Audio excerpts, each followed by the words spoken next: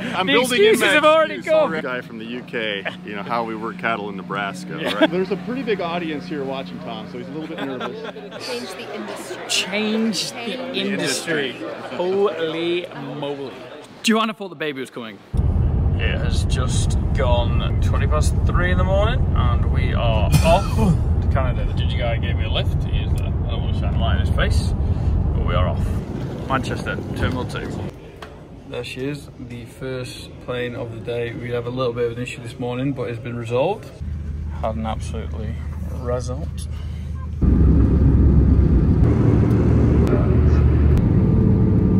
Got myself a sandwich and a drink. The visa thing came up again and I had to uh, go to the desk. I think that is the boat we're on. It's big. I am number 51. Very nice airport, Brussels, of what I did just see of it. Funny, isn't it? So it's like a calf building. You know, they have their tunnels. So we're looking out one of ours in the design for our building. Same thing in a tunnel for humans.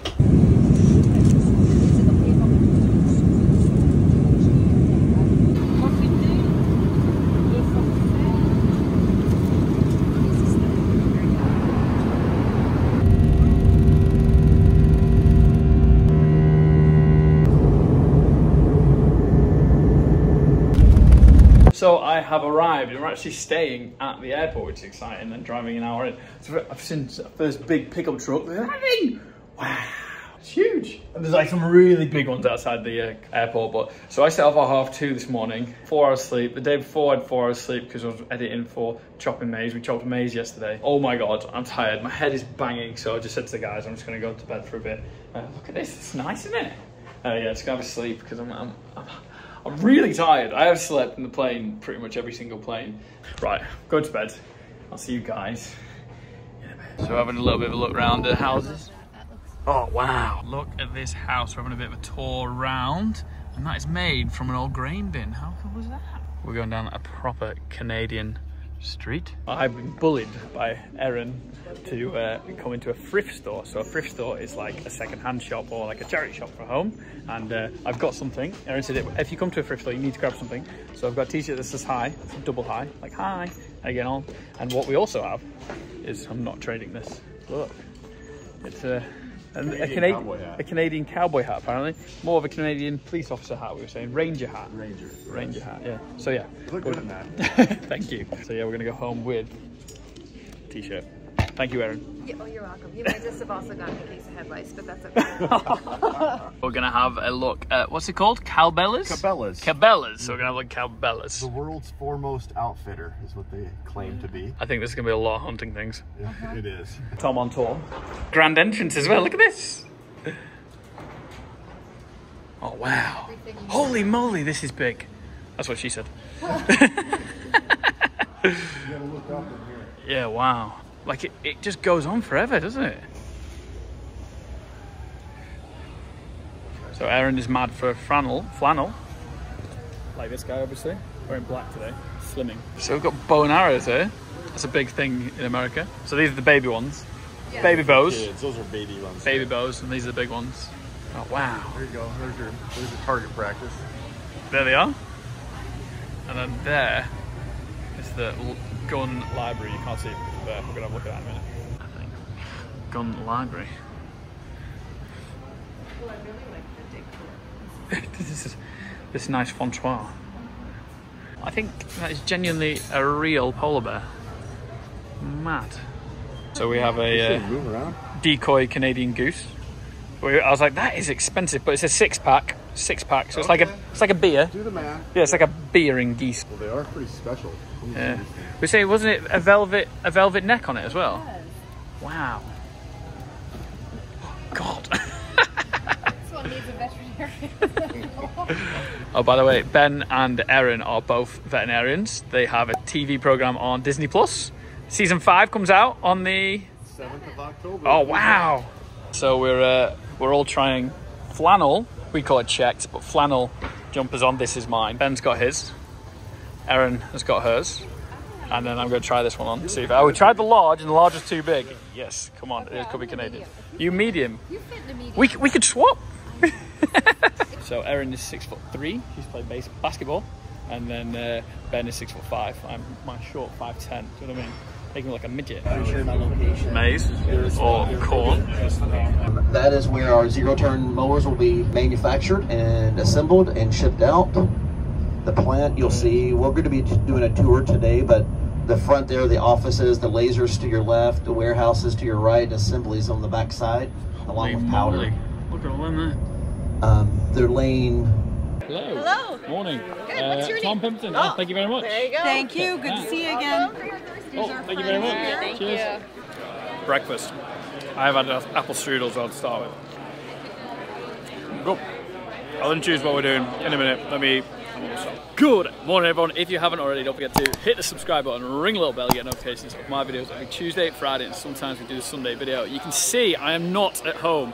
Traveled about 18 hours, and we are in Canada. We are in a place called Winnipeg, and obviously we're at Arrowquip. Arrowquip is the cruster we bought. I think like two years ago now. Still haven't told you the story of how I broke it. I did tell one of the guys here.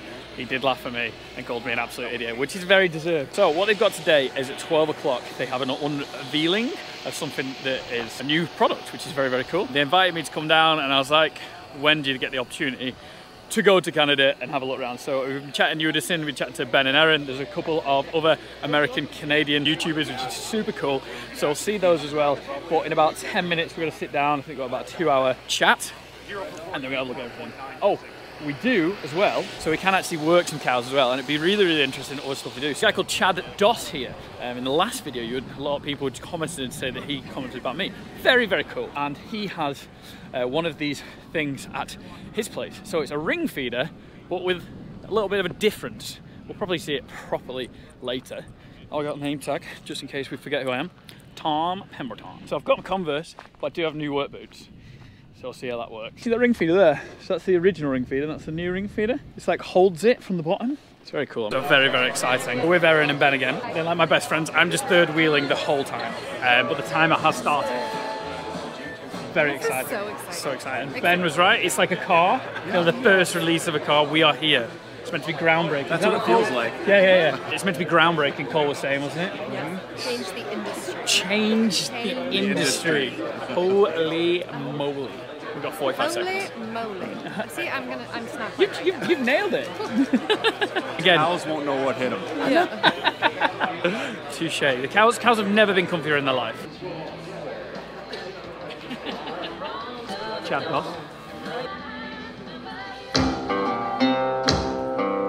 Flat out passion for the beef industry. The passion to keep improving. You, you build one chute, you make another model, and you go out and work it, you never fail to see flaws in the design and to be aware of the struggles that the ranchers have. We wanted to be able to come up with designs to help them out. Agriculture is the backbone of the world.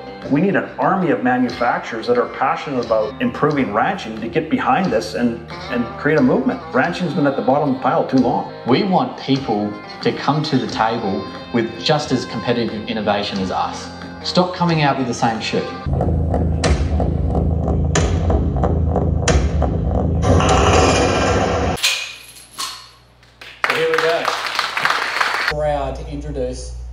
The Arrow Lock manual chute. We want to stay true to our vision, inspiring tomorrow's rancher by solving problems today. And our promise to you is we'll never stop working on solving problems. New Arrowlock sets a standard for strength and control. The days of large bulls being held insecurely are behind you. The Arrowlock 8800 in particular offers three distinctive settings catering to cows, calves, and bulls. So I'll catch the tire, and you can see I've caught it pretty good. Hard time pulling that tire out. So we'll release the tire, we'll put it in the cow setting. So you can see how my power curve is starting to go up. What's different with this chute? It's two inches wider, two inches taller, nine inches longer, and 500 pounds heavier. Frame, it's been tweaked, re-engineered, improved. All the connections and all the joints are better. It's mental how quiet it is. Well, we were just talking, we don't grease ours. So I don't grease mine either. It's never seen an ounce of grease. But it's all the nylon fittings and everything. Everything's just smooth. We need an inch and a half to get up to speed to hammer into that too. Um, angle iron here was smiling about a half inch up on each side because we were putting so much force into it. So smacked it 140,000 times just to see if it was stronger. I'm under race. Look at this. I like its design. I think it'd be a little bit overkill for us. To be fair, we make it work. We could probably do with a, a race system that's portable and light. They're going to take this apart in a bit so we can see how heavy it is. Apparently it has gone lighter. They were heavy. Put your balls in there, whiz it through, and then that, like that.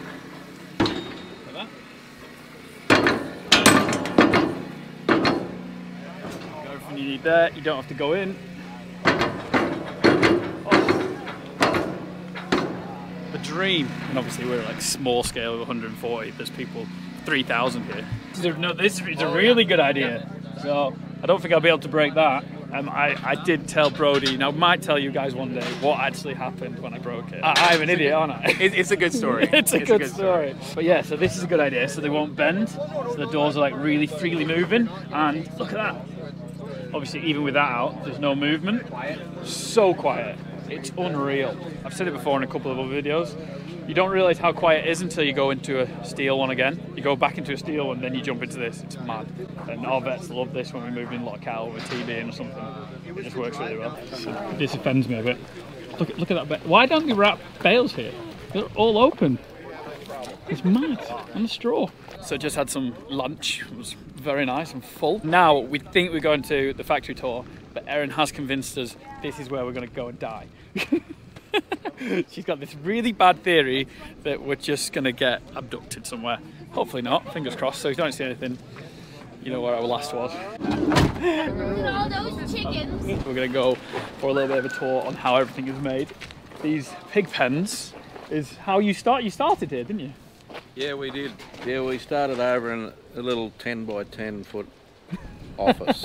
So what we're going into next is a set of mowers. I think they're called freestanding mowers. So you've got a stood up one, you've got loads of attachments, you've got a snow blower on one, you can take that off, put another blower on, and you can sit down. It's called the Yak Yaktar, the Yakta, and very exciting. Uh, this is Erin describing it. She says it's very nice on her touche. Her words, not mine. And then you can see, so there's less than 12 months. This is what they started on, and now they're in production. Absolutely incredible how quickly stuff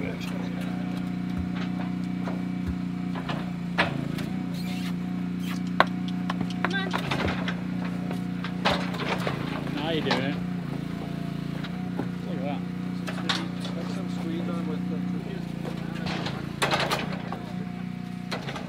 that. Very chilled. Ben said, Do you want to see how it's done? Here he is. Yeah, do you don't want Let me, let me show this guy from the UK, you know, how we work cattle in Nebraska, right? In the Americas. Pressure is on. All right. And you know what you know what they say? Let me see. Okay, Diamonds yeah. are formed under pressure. Are you a diamond? these You're gonna are a little mush. different, so- Oh yeah, there we go. The, ex- I- I'm the building in excuses my have already excuse come. already. Yeah, it's like oh, the height height difference. This is the first I've seen a this bar. This is nice.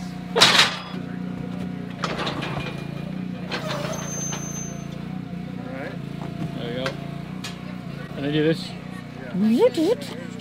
Measure it. Cut your tag. Run your Oh, implant. nose. Yeah, you gotta run your implant. The implant. up we don't the have that in the UK. Up the nose. Up the nose. What are you doing up the nose? Vaccines. Ah. I don't know if you know about those in the UK either. Okay, that's enough stress. So yeah, we on- shave we shave six six Oh, lumps okay. at the back. Is that is that a good enough window for you to do that? Yeah, yeah, that's bang on that. All right, make sure we get those hydraulics over to the UK. Yeah, yeah. I always do this. I always open the head gate first, and then left. Right, okay, It goes slows them, just slows them down a little bit. Right. Right, do you want me to show you how a rookie does it? Yeah, I would love to see that. You'd say I'm not a professional. I'm sure that's what you got. Erin, you might have to help him out. I am really good at the manual. I'm so good at the manual. I'm always. There's a pretty big audience here watching Tom, so he's a little bit nervous. you got this. Diamonds are formed under pressure. That's right. Or coal. Diamond. Oh, oh cool. Touche. Rule number one: never leave the head gate open. Oh, look at that. Nice. Squeeze. More. Now, now neck extend. You can't get that TV done yet. You gotta pull it out there. There you go. seven, eight lumps at the back. jab, jab, yeah, go. Right, now we need to figure out how we're doing this. Okay. Yep. Head gate.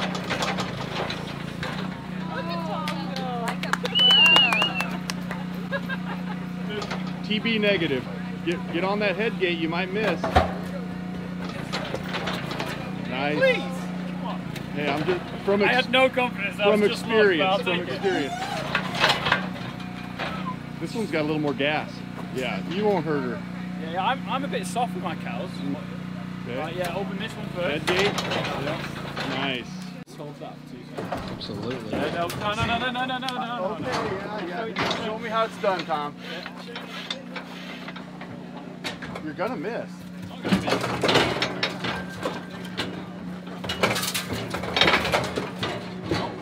Good. Like a pro. This moves. Give it a bit of a. One beef cow in America that you can do that to. Oh, you can do that to all mine at home. I know. Oh, the softest stink, eh? I think she likes it. She might want to go back. We all like it. Wants to do a little trip. Those redheads.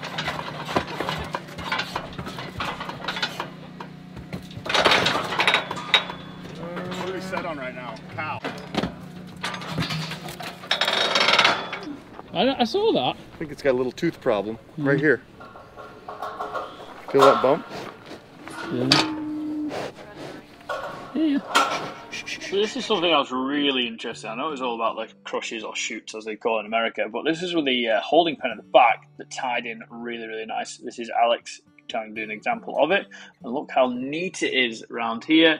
So simple, so easy, and you can hold four gates, two gates either side on each section, which I thought was really, really cool as well. It's something that we probably should look at a little bit. Well, we get by by just tying some gates together with a little bit of baling string. So after we've all smashed the cattle handling, we're actually going to go see the factory and how everything is made, which is cool. So these are like the laser cutters we've been to, and they're massive. The biggest in North America, apparently. Instead of the welder having to measure or use a jig, this locates it in the right spot and then he can weld it in the right place. all the parts. So you see that? The part that that goes into will be the opposite of that, so it all goes in and they can weld it all back together. So everything works in, you see that there? And they see that little groove there? So everything will like go into each other and they think about the next one. Movements of these welds. You should see what holding my GoPro together. My weld is horrific.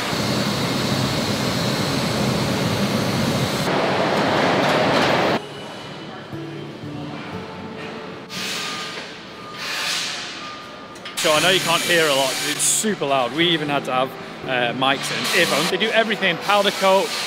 They do it all manually, but they've just put an automate, automated system in as well, so they're running two at once. They can make, assemble about 17, but they can make about 25 crushes a day. A day, and they run five or six days a week, I think. That's mad, isn't it? So 125 a week, that's on a five day week crazy. Yeah, and on, on top of everything else they do. They had an absolutely huge crush at the end, like to the point where it was on a ball hitch, and like it would be so, it'd be definitely illegal in the UK. Look at the size of that grain. Yeah.